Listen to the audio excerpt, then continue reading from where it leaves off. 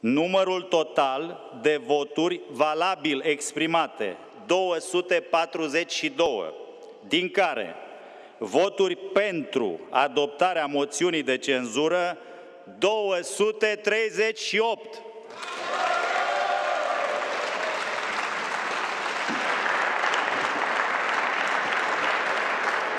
Cinci voturi au făcut diferența în Parlament astăzi la moțiunea în urma căreia guvernul Dăncilă a picat. Ultimul cuvânt al dezbaterii de astăzi l-a avut deputatul buzoian Marcel Ciolacu, liderul PSD Buzău, președinte al ședinței, care a anunțat căderea executivului.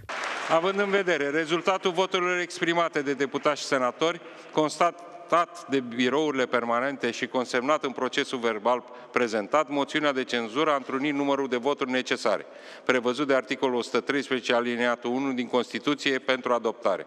Ca urmare, în temeiul prevederilor constituționale și regulamentare, Parlamentul României adoptă moțiunea de cenzură, retrage încrederea acordată Guvernului prin hotărârea Parlamentului numărul 1 pe 2018.